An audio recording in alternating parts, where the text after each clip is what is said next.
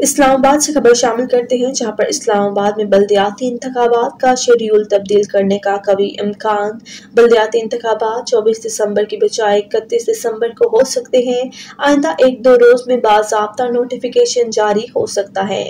Member कौमी अकलीती commission Albert David ने इलेक्शन कमीशन को लिखे गए खत में मुतालबा किया था। इलेक्शन कमीशन की तरफ़ से चौबीस दिसंबर को इस्लामाबाद में बल्दियाती इंतबात करवाने से पचास हज़ार से जायद मसीही बरदरी से से ताल्लुक रखने वाले वोटर्स अपनी हक राय दही से महरूम हो सकते हैं, क्योंकि अपने मजहबी त्यौहार, क्रिसमस की वजह से इस्लामाबाद के मसीही अपनी मजहबी रसूमात में मसरूफ होंगे, जिसकी वजह से वो बल्दियाती इंतबात में हिस्सा नहीं ले सकेंगे।